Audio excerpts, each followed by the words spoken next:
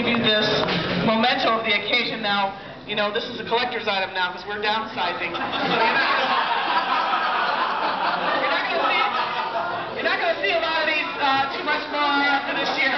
So uh, this is really special. Congratulations.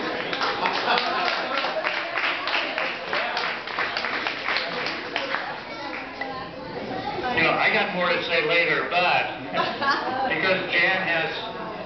Jan made it a point of coming here, and we really appreciate it before she has to go down to another event at, uh, uh, at SC. But I would just want to, can we have your attention? Because I want to say something really nice about uh, our councilwoman. Now, everyone be quiet.